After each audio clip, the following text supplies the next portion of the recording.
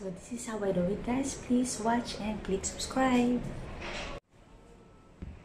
Due to my busy schedule guys, so wala talaga akong time mag-exercise. So ang ginagawa ko lang ay 5 minutes exercise uh, every other day.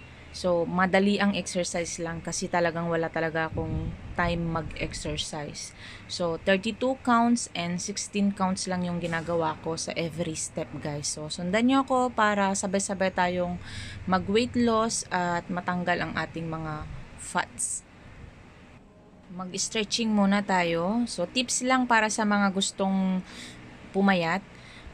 Kukontrol natin yung kinakain natin. So, yung rice, unti-untiin nating uh, walain sa, sa meal natin, guys. So, kung kaya nyo nang hindi kakain ng rice, pwede lang kayong kumain ng gulay, fish, meat, eggs.